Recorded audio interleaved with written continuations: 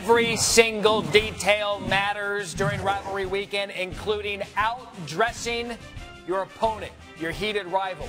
That's what we're going to do here on Gear Up today. Absolutely. Listen, beating them in your gear is definitely a win. Aaron Dodson always brings us the best unis that we're going to see this week. Watch us, walk us through which makes each one special. So we're going to start in the Palmetto State, Carolina, South Carolina Clemson, 7:30 Eastern, ESPN. What are the Gamecocks? Winning? Matt, senior day means the seniors pick the swag, black helmet, garnet jersey, garnet pants. This is the first time ever that the team has worn this combination. Looking forward to the Iron Bowl, but this kind of looks like an Auburn uniform we typically see, Aaron. Like a couple teams in the SEC, Auburn doesn't really switch it up. This is their traditional home combination white helmet, blue jersey, and white pants. Let me say, classic is always good in college football. The last time we saw the Buckeyes dress up, they did so against Penn State. What are they wearing against Michigan today? Against Penn State, they wore all gray. They're going all white with this special helmet with the Buckeye wolf pattern. You also see it in the numbers and on the socks. I also see the LeBrons. What are we doing oh, there? Yeah. Nike LeBron Soldier 11 cleats. This is the third time that they've worn them this season. Every time they get a different colorway.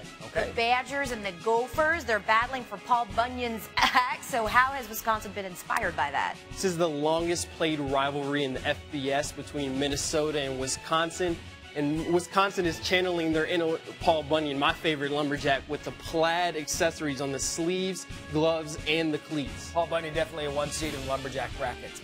Air Force Academy, Utah State, what are they wearing? This is a special alternate all gray uniform for Air Force. What about the helmets? I understand there's something special with all of the helmets today. The helmets is part of the Air Power Legacy series that started last year. They brought it back this year. There's five different helmets designed after the helmets that pilots wear in the F-35 combat aircrafts.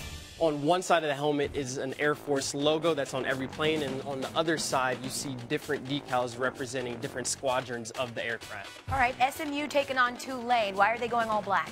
Ask and you shall receive at SMU. The players really wanted to go all black, and head coach Chad Morris delivered with this combination. I gotta say, though, they had me at that shiny helmet. So, what's going on with the chrome dome? Red chrome helmet. You see the pony on one side and the Dallas skyline inside the pony.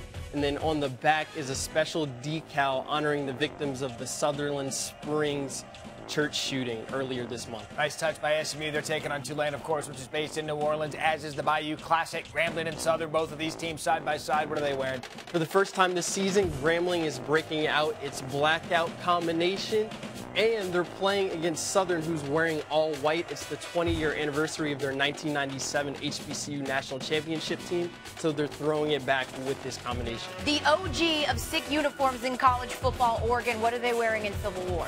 I smile every time I see this on the neckline. Once a duck, always a duck. That's the name of this combination.